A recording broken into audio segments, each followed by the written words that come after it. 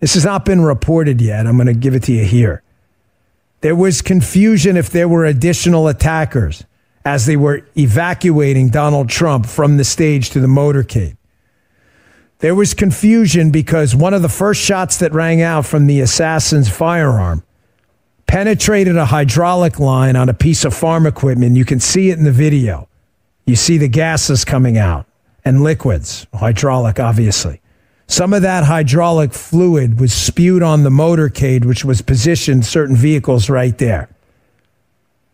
Created kind of a bit of a chaotic situation above and beyond the tragic chaos. In addition, what I'm hearing from a source this morning is there was an explosion. It was a minor one. They don't know what it is. Was it a firework? Was it part of what the assassin had planned? There was something detonated, but there was some minor explosion. They were not sure if that wasn't an additional attack in the motorcade area.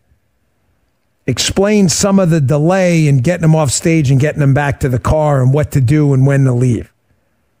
Not an excuse for anything, this apocalyptic, catastrophic security failure.